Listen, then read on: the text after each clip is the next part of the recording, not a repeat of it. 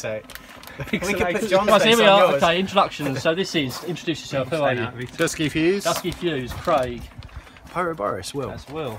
I'm Phil, Pyron Fanatic Phil. Oh, here's Hi folks, who is this? SI7. Size seven. How you doing? Ashley, Pyro Ash. Pyro Joe 321. Pidgey, Adam. And I'm uh, I'm John Tiltman. So we've got all of our Hawk derivatives here. We think. So let's go through them one at a time.